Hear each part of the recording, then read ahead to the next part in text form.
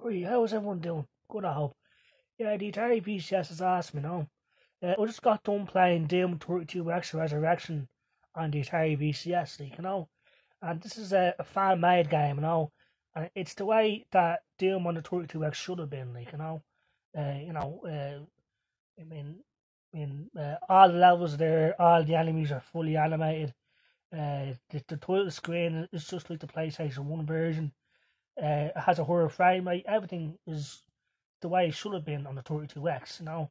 But it's awesome, uh, you know. I just stumbled across this while it was on Chrome on my Atari VCS, like, you know. And uh, it's awesome. It really is, like, you know. The only thing is, uh, I have to use a keyboard playing the game, which is not that uh, bad, you know. Uh, the arrow keys control movement.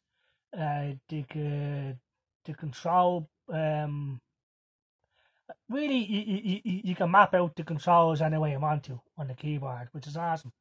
Yeah, so I just want to make a quick video about that, you know. Uh, you know, that's one of the great things about the Atari VCS because it has Chrome. You know, I'm finding all these games, you know, that I didn't know I didn't know existed, you know. So yeah, you know, if, if people have an Atari VCS, if you want if you want to play Doom 32X Resurrection, you can do it, like, you know.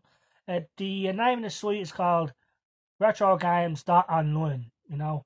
So I go there and you, go into the 32X section, you'll see it. Uh, Doom 32X uh, Resurrection.